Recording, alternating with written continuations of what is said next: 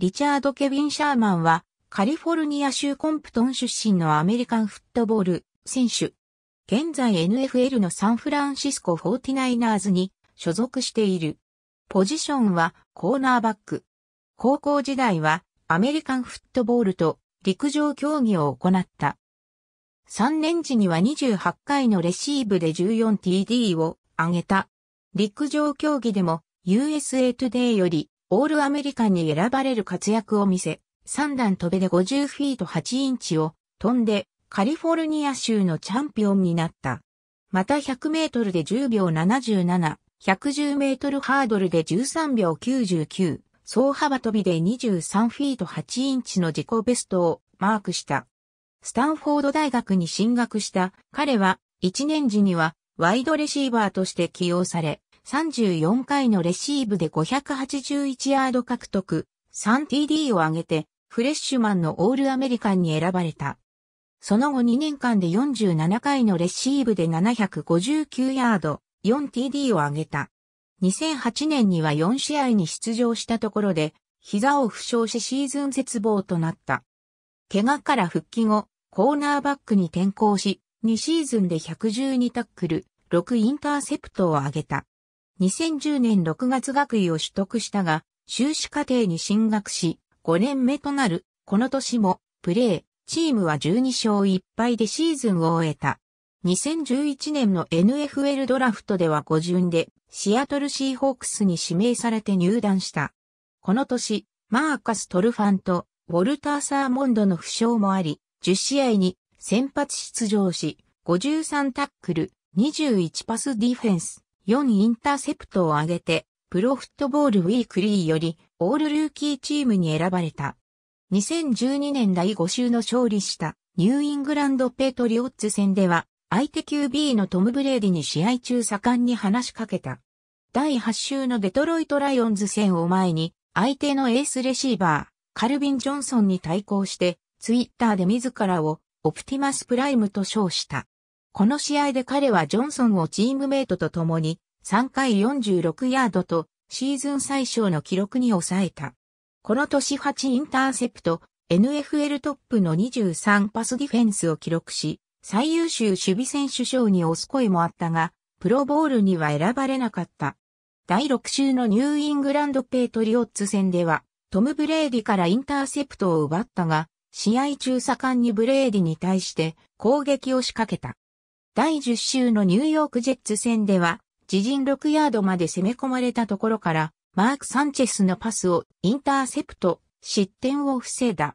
またこの試合では、プロ初サックを記録、ファンブルを誘い、ターンオーバーにつなげる活躍を見せ、NFC 週間 MVP 守備部門に選ばれた。11月下旬、運動能力強化薬物規定違反の疑いで、ブランドン・ブラウナーと共に、シーズン終盤の4試合の出場停止処分を受けた。これに対してブラウナーは12月4日に異議申し立てを取り下げて、レギュラーシーズン最後の4試合を欠場したが、彼は異議申し立てを継続し、最終的に処分は取り消しとなった。第14週のアリゾナカージナルス戦ではにインターセプトを上げ、そのうちの1回はリターン TD につなげている。第16週のサンフランシスコ 49ers 戦では FG ブロックされたボールをリカバーし90ヤードのリターン TD、またインターセプトを上げた。最終週のセントルイスラムズ戦でも1インターセプトを上げた。プレーオフで対戦するワシントンレッドスキンズからは、シャーマンが出場停止処分を逃れたことについて、彼は詐欺師だ。といったコメントも見られた。2013年、第15週のニューヨークジャイアンツ戦ではにインターセプトを上げた。この年、プロボールに選出された。この年チームはパス創出ヤード、相手パスディフェンスでリーグトップの成績を残した。サンフランシスコ 49ers との NFC チャンピオンシップゲームではコリン・キャバニックからエンドゾーン内のマイケル・クラブツリーに投げられたパスを弾き、これをマルコム・スミスがインターセプトし、チームはスーパーボール出場を決めた。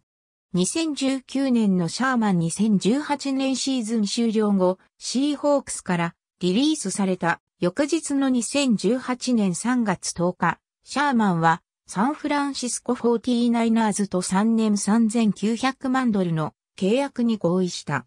レギュラーシーズンラインバッカー並みのサイズを持ち、フィジカルの強さを持ったコーナーバックである。レシーバーとのコンタクトが認められているスクリメージラインから5ヤード以内の地点での激しいコンタクトを行っており、同地区ライバルのサンフランシスコ 49ers QB、アレックス・スミスからは、イリーガルコンタクトの反則が取られるべきだと言われたこともある。ビッグマウスとして知られており、その言動はしばしば見出しとなっている。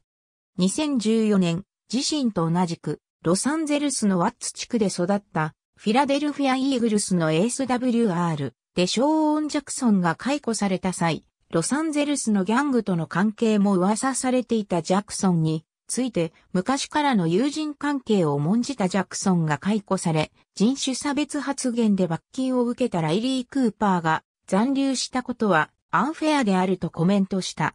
ありがとうございます。